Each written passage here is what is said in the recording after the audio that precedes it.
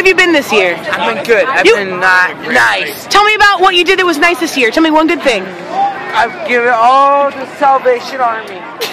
All the Salvation And then he got hit by a car. That was really good.